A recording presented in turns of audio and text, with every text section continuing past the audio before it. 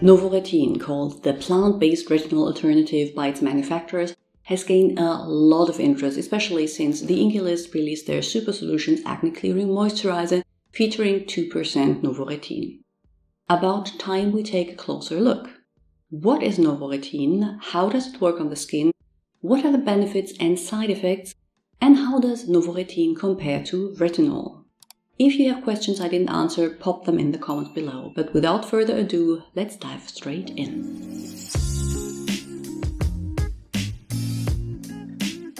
If you're new, here, welcome. I'm Dr. Anne, a physician passionate about skincare and well aging. Novoretin is an ingredient derived from mastic, an aromatic resin from the bark of trees that grow exclusively on the Greek island of Chios. Apparently, this resin has been used for centuries in traditional medicine and skincare.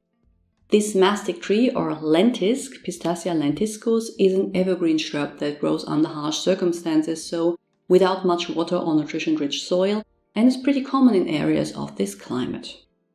Only the mastic trees of southern Chios, though, give the typical resin when the bark is scratched. This is probably due to the kind of soil there and the especially warm and dry weather conditions. Obviously, the resin undergoes several processing steps until you get the finished ingredient put in skincare products. The mechanism of how novoretin is supposed to work is really interesting and different to retinoids. You know that retinoic acid is naturally present in our skin and affects cell turnover and collagen production. To target different skin concerns like premature aging or acne, retinoids are applied to the skin topically, with retinoids being the umbrella term for a class of substances including retinol, the most common one in skincare. The mechanism here is that these substances are applied, absorbed into the skin, and then, through enzymatic conversion, turn into retinoic acid. Basically, you have the retinoic acid you'd have naturally and then add some additional one from external.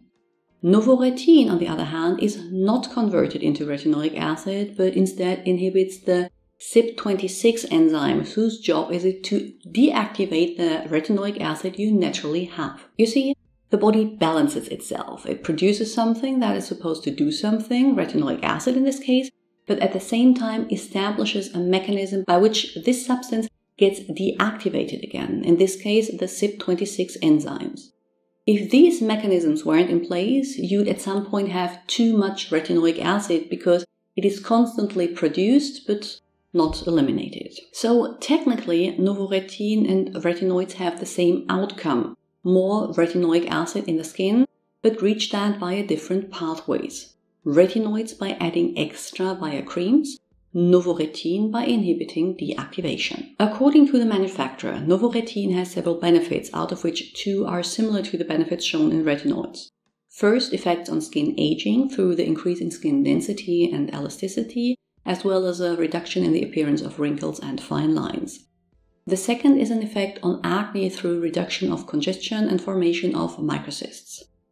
What it does on top of that, and that is different to retinoids, is that it apparently increases the moisture in the skin.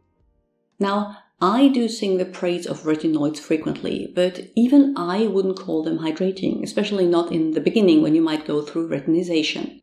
Maybe in theory, over the course of prolonged treatment, the improved structure in the skin could lead to better moisture retention but quite frankly, it isn't something you'll hear as retinoid benefits. And if the endpoint of novoretin is the same, more retinoic acid, why is the effect here so different? Well, there are studies done on the claimed benefits and mechanisms of action, they aren't publicly available. I contacted the manufacturer to see if they could provide me with more information, and they sent over to advertorials mentioning the studies done, but Without seeing the full study, I am not able to comment on quality. I mentioned before that the theoretical mechanism of action in novoretin is by inhibiting CYP26 enzymes. And in vitro studies, meaning studies done on cells in a petri dish or skin models, have shown that novoretin decreases the activity and gene expression of these enzymes. Studies done on actual people using a 2% novoretin for 18 days showed a 20.4% increase in skin elasticity and a 13.8 increase in skin density, and with consistent use a reduction in wrinkle depth by 14% and length by 13.7%. Again, I don't have the original publication, so I can't comment on baseline, other potential influences, or design. What I can say from a very personal point though is that an effect that big in such short time is astonishing, especially as there were barely any side effects.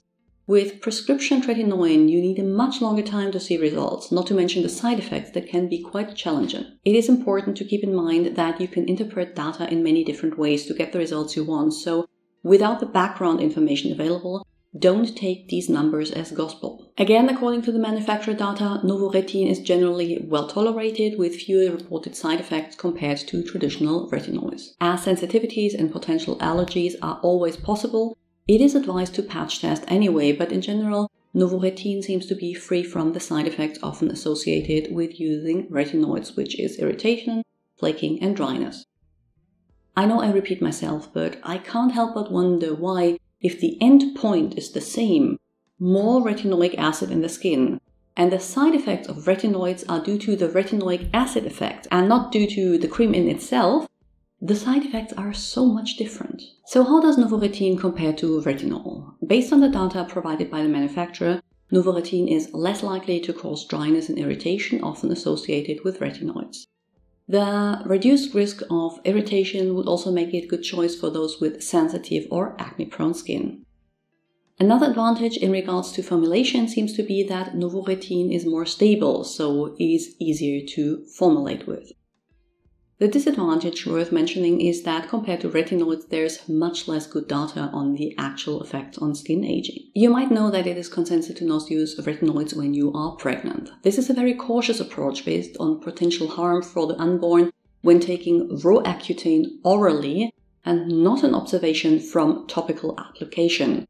You probably get more vitamin A from eating carrots than from applying a topical retinol product, but nonetheless, this is the general recommendation.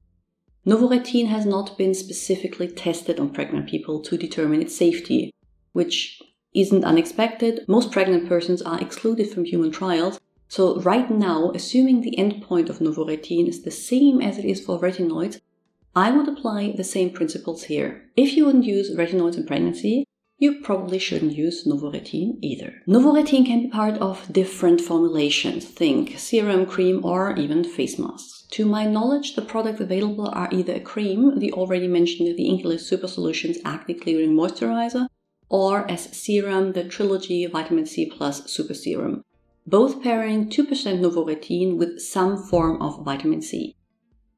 From what I can tell, a 2% concentration is what you should look for in a product, as that is what was used in the studies. Even though side effects are supposed to be minimal, I would start slowly with every other or even every third night, slowly building up over the course of six weeks, and would avoid pairing it with other potentially irritating products. I will link to more videos you might find interesting on the screen, and links to my Instagram and blog in the description box. And if you want exclusive Q&As, behind the scenes content or just get more involved, become a channel member.